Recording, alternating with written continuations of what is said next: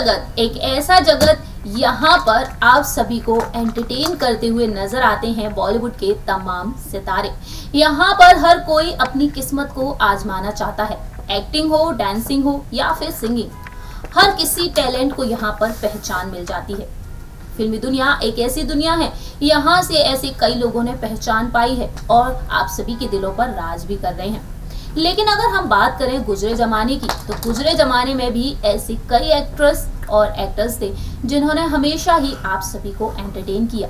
भले ही इस दुनिया में नहीं रहे हैं कुछ सेलिब्रिटीज लेकिन आज भी उनकी दमदार एक्टिंग उनकी फ़िल्मों के ज़रिए आपको देखने को मिलती है। वहीं आज की इस खास रिपोर्ट में हम आपको बताने जा रहे हैं बॉलीवुड की एक और खूबसूरत अदाकारा के बारे में, जिन्होंने अपने दौर में कई सुपरहिट फ़िल्में दी। जैसा कि आप सभी जानते हैं कि हर स्टार की प्रोफेशनल लाइफ से हटकर उनकी पर्सनल लाइफ की कहानी भी होती है। उनकी पर्सनल लाइफ को लेकर वो हमेशा ही सुर्खियों में आ ही जाते हैं।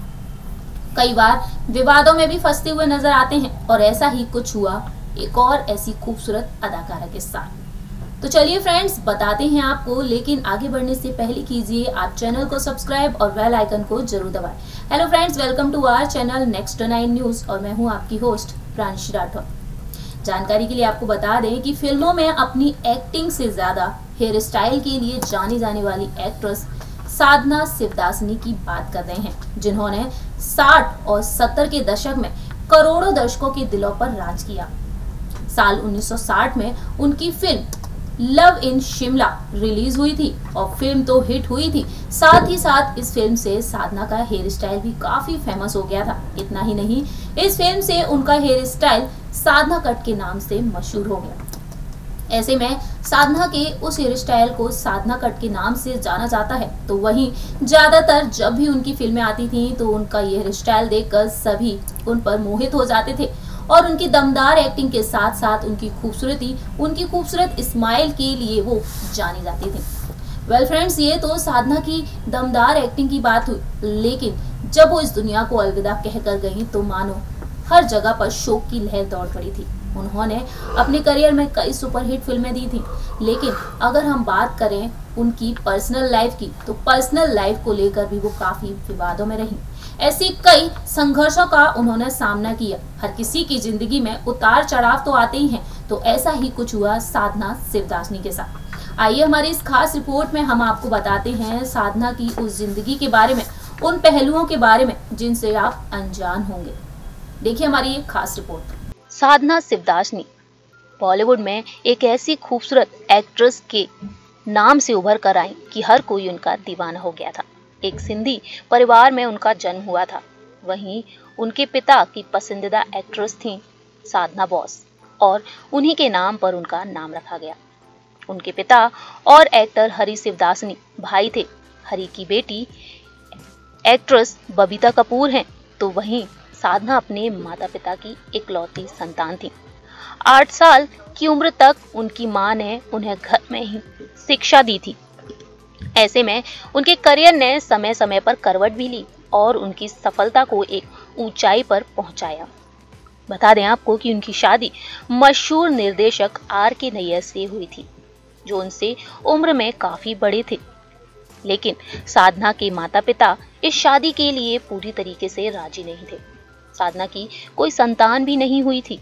लेकिन आपको ये भी बता दें कि वो दौर जब आया जब आर के नैयर इस दुनिया को अलविदा कहकर चले गए दरअसल, अस्थमा के कारण साल उन्नीस में आर के नैयर साधना को अकेले छोड़कर दुनिया से अलविदा कहकर चले गए ये दौर उनके लिए बेहद ही दर्दनाक था। इस दौर से गुजरते हुए साधना ने आगे की ज़िंदगी अपनी अकेले ही बताई। वहीं खबरों के मुताबिक, ये भी आया सामने कि उन्होंने एक्ट्रेस वहीदा रहमान, आशा पारेख और नंदा के साथ अपना अच्छा संपर्क बनाए रखा। लेकिन अपनी चचेरी बहन बबीता से दूरी बनाए रखी थी। जी हाँ बबीता कपूर भी बॉलीवुड की पॉपुलर एक्ट्रेस में एक गिनी जाती थी। बबीता कपूर भी उस दौर की फ़ेमस एक्ट्रेस में से एक थी। लेकिन पता नहीं इन दोनों बहनों में इतनी दूरी क्यों रही। वहीं आपको ये भी बता दें कि साल 1960 में रिलीज़ हुई उनकी फ़िल्म लव इन शिमला के लिए साधना का नया लुक जब सामने आया तो साधना कट के नाम से मशहूर हो गया। इस फ़िल्म का निर्देशन आर के नैयर ने ही किया था। दरअसल साधना का माथा बहुत ही चौड़ा था और उसे छिपाने के लिए बालों को ऐसा कट दिया गया था। लेकिन आगे चलकर उनका ये हेयर स्टाइल फ़ेमस हो गया और लोग उनके इस हेयर स्टाइल को काफ़ी पसंद भी करने लगे थे। लेकिन आपको ये भी बता दें कि साधना ने अपनी ज़िंदगी में कई उतार चढ़ाव देखे। यहाँ पर एक और वो फ़िल्मों में इतनी फ़ेमस हो गई थी तो वहीं दूसरी ओर साधना से जुड़ी हुई ऐसी कई बातें सामने आई। जी हाँ आपको बता दें कि साधना और सुपरस्टार राज कपूर के बीच पहली फ़िल्म से तनातनी का माहौल रहा। साधना और राज कपूर की पहली ही फ़िल्म से ऐसी अनबन हुई कि साधना उनसे बहुत नफरत करने लगी थी। ये बात कुछ लोगों को ही पता है कि साधना ने राज कपूर और नरगिस की सुपरहिट फ़िल्म श्री 420 में कैमी रोल किया था। इस फ़िल्म का गाना मुड़ मुड़ के ना देख मुड़ मुड़ के, साधना कोरस गर्ल में नज़र आई थी। खबरों की माने तो इसी गाने की शूटिंग के वक्त साधना और राज कपूर के बीच किसी बात को लेकर ज़बरदस्त बहस हो गई थी और तभी से वो राज कपूर से नफरत करने लगी थी। वहीं ये भी सामने आया कि साधना हमेशा से ही अपने हेयर स्टाइल को लेकर काफ़ी सजग रहती थी और वो अक्सर अपने बालों का ध्यान भी रखा करती थी। और साधना की यही बात राज कपूर को बिल्कुल पसंद नहीं आती थी। इसके लिए उन्होंने कई बार साधना को ऐसा करने से भी रोका। राज कपूर की उन्होंने एक बार नहीं सुनी।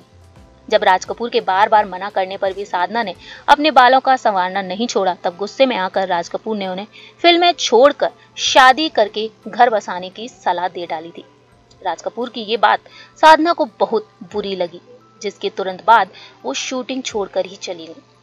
लेकिन आपको ये भी बता दें कि कई सालों तक साधना ने राज कपूर के साथ काम नहीं किया। फिर छह साल बाद फ़िल्म आई दूल्हा दुल्हन।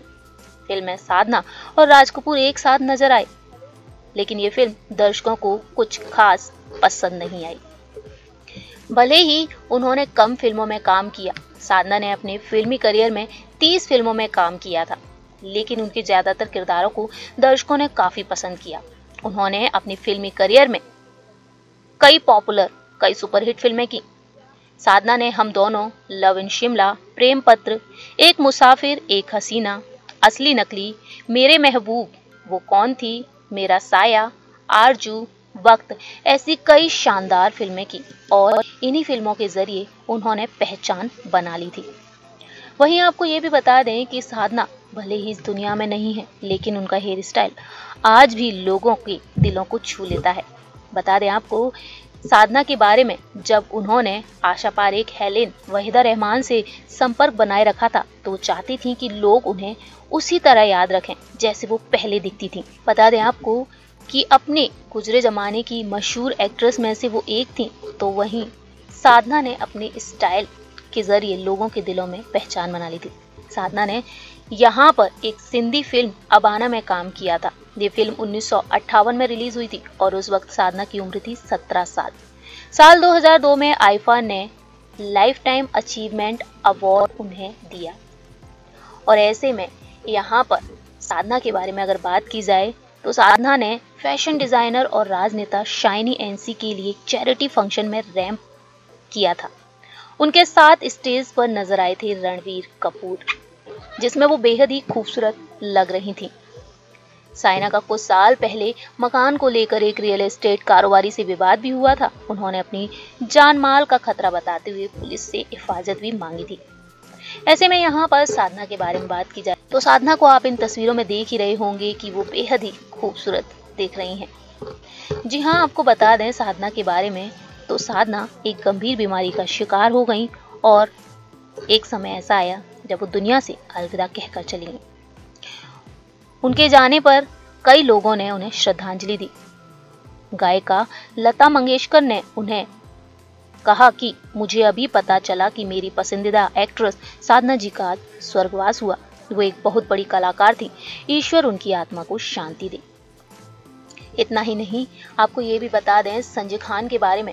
संजय खान ने कहा कि मैं उनसे मिलने नहीं गया, क्योंकि मुझे मालूम था कि वो ठीक नहीं है। उन्हें दावत देने की मेरी ख्वाहिश अधूरी रह गई। मैं उन्हें बीमार नहीं देखना चाहता था। बहुत दुख है। उनकी फ्रेंड और उनकी करीबी आशा पारेख ने कहा कि पिछले हफ़्ते ही हम मिले थे और हमारी पार्टियाँ भी होती थी, जिनमें हम बीते जमाने की actress Helen, Waheeda Rehman Shammi aunty और कई लोग मिला करते थे। उनकी तबीयत पहले से खराब थी और पाँच छह कोर्ट केस भी चल रहे थे, जिसके चलते वो परेशान थी। उन्होंने कभी अपना दुख हमसे साझा नहीं किया। आशा पारेख ने यह भी कहा कि वो बहुत पॉपुलर थी। उनका साधना कट मुझे आज भी याद है। हम उनके घर ही जा रहे हैं। बता दें आपको कि साधना को मुँह के कैंसर की वजह से सर्जरी की गई थी और बाद में उनका निधन हो गया। भले ही साधना हमारे बीच मौजूद नहीं है, लेकिन आज भी उनकी फ़िल्मों के ज़रिए हम उन्हें याद करते हैं। सो so फ्रेंड्स आपने देखा यहाँ पर कि किस तरीके से साधना शिवदासनी ने फ़िल्मों में डेब्यू किया और धीरे धीरे वो सफलता की सीढ़ियों पर चढ़ती चली गई। लेकिन एक दौर ऐसा भी आया जब उन्होंने कई उतार चढ़ाव का सामना किया। फ़िल्म इंडस्ट्री में उन्होंने अपनी धाक जमा ली थी तो वहीं पर्सनल लाइफ के चलते भी वो काफ़ी सुर्खियों में रही। जब उन्होंने शादी की तो अपनी शादी को लेकर भी वो काफ़ी चर्चा में रही। उनके माता पिता उनसे नाराज़ हो गए थे, जैसा कि हमने आपको इस रिपोर्ट के ज़रिए बताया। और वहीं आपको ये भी बता दें, जब वो दुनिया से अलविदा कहकर गई तो उनकी हालत बेहद ही गंभीर थी। उनके दुनिया से जाने के बाद तमाम सेलिब्रिटीज उदास हो गए थे, मायूस हो गए थे। कई लोगों की ख्वाहिशें अधूरी रह गई थी। जी हाँ जैसा कि हमने आपको अपनी इस रिपोर्ट में बताया वहीं आपको ये भी बता दें कि साधना चौहत्तर साल की थी जब उन्होंने दुनिया को अलविदा कह दिया। दरअसल उन्हें कैंसर हुआ था और कैंसर की वजह से उनकी हालत बेहद गंभीर हो गई थी और फिर वो वक्त आया जब उन्होंने इस दुनिया को अलविदा कह दिया। वेल फ्रेंड्स भले ही साधना हमारे बीच नहीं है, लेकिन आज भी उनकी मौजूदगी देखने को मिलती है उनकी उन फ़िल्मों के ज़रिए। उनकी दमदार एक्टिंग उनकी खूबसूरती आज भी सभी के दिलों में बसी हुई है। बस सिर्फ़ उनकी तस्वीरों और उनकी फ़िल्मों के ज़रिए। आप क्या कहते हैं? साधना शिवदासनी को लेकर आप हमारे कमेंट सेक्शन में बता सकते हैं। फ़िलहाल के लिए हम चलते हैं। तब तक के लिए आप देखते रहिए नेक्स्ट नाइन न्यूज़ और हमारे चैनल को लाइक सब्सक्राइब और शेयर करना ना भूलें।